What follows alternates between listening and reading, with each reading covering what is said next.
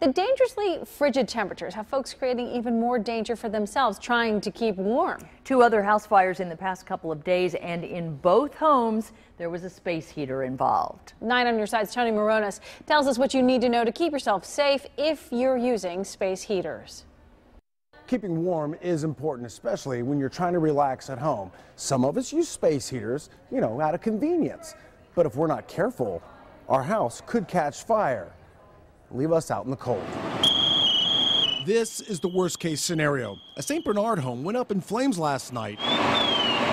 It started with the space heater in this boathouse on the Ohio River from the same thing Sunday night. And you want to make sure it's always in repair, it's not damaged. I'll give you a perfect example this cord. If it's frayed, torn, or whatever, it can easily cause a spark and cause a fire. Only plug the device directly into the wall and make sure it's secured all the way in. Using an extension cord as any kind of permanent wiring can lead to a safety hazard. But if you did use it, make sure the wire is wider than the heater's wire. Remember the two fires I told you about? Both of those were caused by space heaters. They were too close to other materials. People, people get cold and they'll want this thing real close to them, especially a small one like this and it could wind up in bed with a person. That's why, uh, yeah, I'm going to say that. Don't do it because it's a, you know sometimes people if they don't know they don't know. So keep combustibles away. Keep your children away. This shouldn't be on when you're away from the house.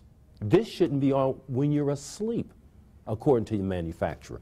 These rules are the same for kerosene heaters. If you're using those, make sure you have working carbon monoxide detectors inside. In addition to, always, always make sure your smoke detectors are working properly. Tony Moronis, 9 on your side.